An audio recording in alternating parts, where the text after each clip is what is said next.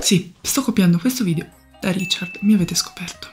Cosa faremo in questo video? Essendo uscita qualche settimana fa il nuovo album di Nitro e prendendo appunto, come ho già detto, ispirazione da uno dei video di Richard di qualche anno fa, andremo a tirare fuori un'illustrazione da due canzoni in particolari contenute all'interno dell'album, ovvero Paranoia e Abissi. Perché queste due canzoni? Perché sono quelle che mi hanno colpito di più e inoltre sono quelle un po' più tristi, cosa che mi aiuta molto a tirar fuori tristezza.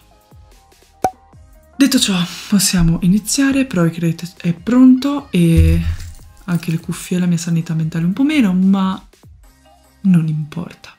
Non sapevo bene su dove volessi andare a parare con l'illustrazione in generale, ma la prima cosa che avevo voglia di rappresentare era la, la frase bevo anche il lunedì, motivo per cui uno degli elementi che poi ho tenuto buono anche per il disegno fino alla fine è stata quest'ombra rossa con una persona che sta bevendo del vino o comunque una bottiglia di alcol. A questo punto non mi ricordo secondo quale processo mentale, ho deciso che forse al posto di presentare Nitro magari cartoonizzato oppure una persona, avrei potuto fare fare direttamente uno scheletro, cosa che eh, col seno di poi darà un impatto mostruoso. Siamo arrivati a questo punto dove possiamo vedere che ho creato una scheletro con una sorta di ombra rossa che è dietro di lui ma che come vedete qua arriverà a disintegrarsi. Vi faccio vedere qui. Oltre a questo abbiamo questa sorta di capigliatura afroamericana che in realtà non è una capigliatura ma sarebbero i pensieri anneriti che escono dalla testa dello scheletro, neri come possiamo vedere anche i polmoni che sono un pezzo di una citazione della canzone quindi non lo so, per me il rosso e il nero stanno un sacco bene insieme quindi visivamente molto eh, d'impatto considerando anche che lo scheletro ovviamente sarà bianco. Ora la mia indecisione sta nel fatto che ero indecisa se lasciare lo scheletro completamente bianco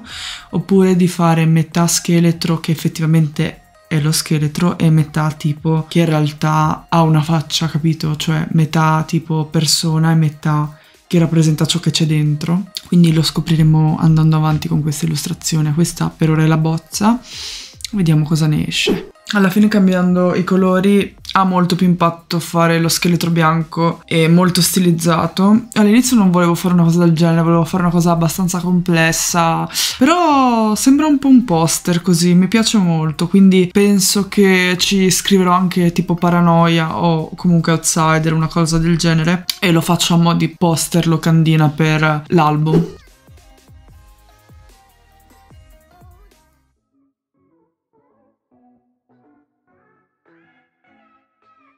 Questo punto stavo rifacendo lo scheletro. In realtà alla fine non è uscito molto diverso da quello della bozza, però ho sistemato un paio di problemi come per esempio il naso che non era fatto bene, nel senso che era sbagliato, e anche la cassa toracica che nella bozza era davvero terribile. Adesso invece sono contenta di come è uscita, quindi perfetto.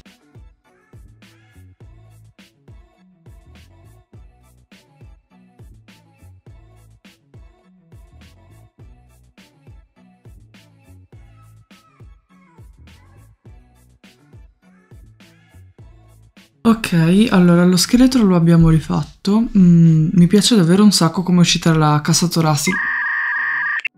toracica, cosa che non avrei mai detto sinceramente perché non, non, non è che faccio scheletri molto spesso. Adesso ci ho aggiunto i due eh, polmoni. Come vedete nella bozza ho aggiunto anche i capelli di nitro, nonostante ovviamente non è una cosa che dovrebbe accadere siccome non stanno direttamente sullo scheletro, però secondo me hanno il loro perché, quindi li aggiungerò lo stesso. E poi manca da fare l'ombra e magari qualche dettaglio per renderlo un po' più d'impatto.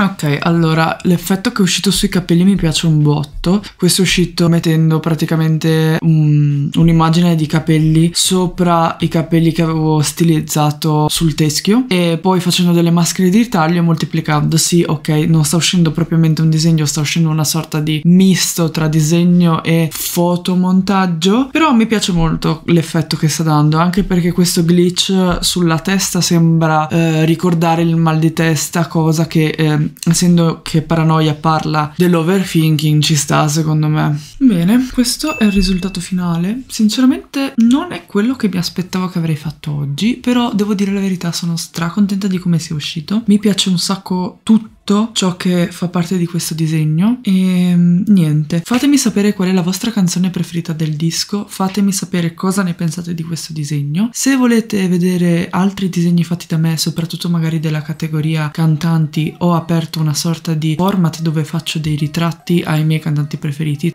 e noi ci vediamo in un prossimo video. Grazie per la visione